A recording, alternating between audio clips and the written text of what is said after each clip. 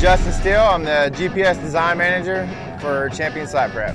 The Smart Grade motor grader, being able to rotate, roll the blade forward instead of an operator or blade man having to always cut rock, we can now slide across rock. It's the different abilities of the machine. Having everything together in one unit really simplifies the operation. A big thing about Smart Grade in general, both the dozer and the motor grader. The dozer, not having the, the pole on the front was a huge deal for us.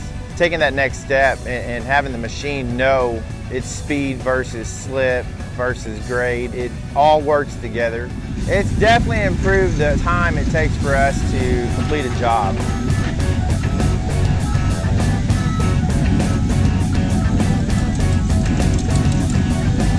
We are a fast-paced company. We're in and out in five days' time. John Deere, Topcon, RDO, all together, I couldn't see us using anybody else.